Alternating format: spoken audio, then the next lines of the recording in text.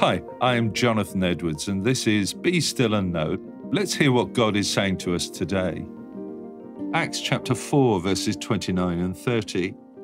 And now, O Lord, hear their threats, and give us, your servants, great boldness in preaching your word.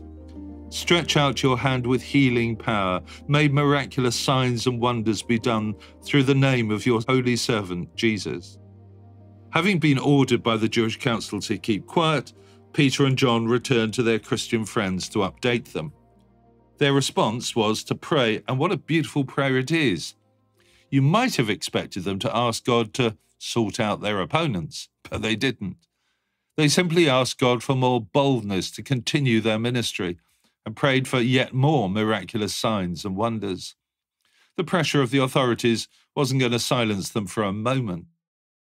I've had the privilege of meeting with a number of Christians who suffered greatly for their faith. During the communist era, a friend and I visited Romania and met with a prominent Christian leader. We knew that we were being followed during our visit, and so we went to a secret location to hear his story away from prying eyes and ears. He told us about the repeated threats he'd received from the secret police.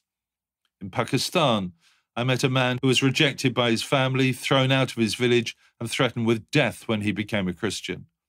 I have so much respect for those who've had to exhibit real courage and boldness to maintain their Christian witness.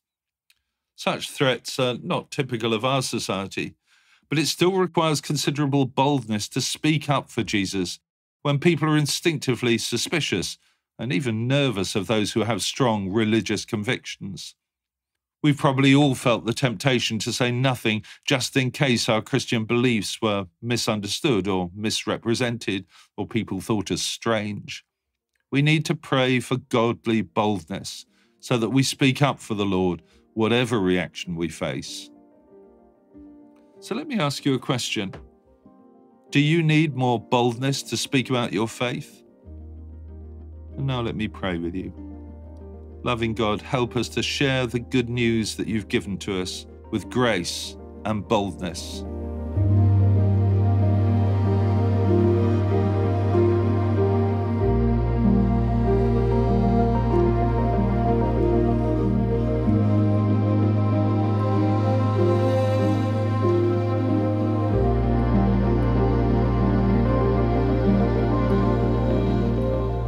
Amen.